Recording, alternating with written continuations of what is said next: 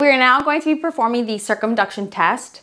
Let's all understand the patient has come into the clinic with a complaint of shoulder issues. We're leaning towards believing he has instability somewhere. I'm actually going to circumduct his arm, which is a little bit difficult if you are vastly littler than your patient. Doing this entire test to assess posterior instability. We sit down? No, sir, I can handle you. the circumduction test, I'm actually going to have some stability on his posterior shoulder. We are assessing for posterior shoulder instability. I am going to start in shoulder extension and I'm going to simply circumduct his arm. Stabilizing here, feeling for what's going on. So you don't want to rush the movement. But I'm now going to extend his arm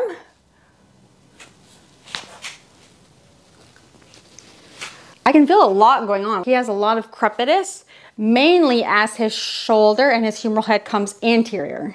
As I push his humeral head up superior direction, just the axial load, there's a lot of crunchiness.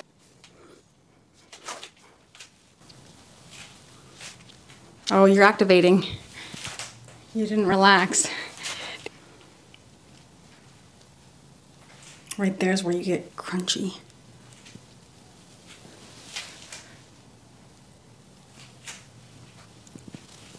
Kind of came down a bit.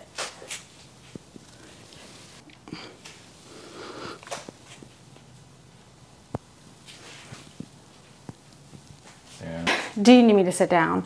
No, I don't. I will see that.